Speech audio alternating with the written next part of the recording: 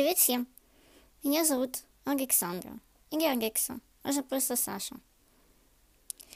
Я болею кожно-болезненным эпидермолизом, но об этом я расскажу как-нибудь в следующий раз, потому что это очень длинная история. Я давно хотела начать снимать видео, но все как-то не решалось. Все-таки боязно с первого раза.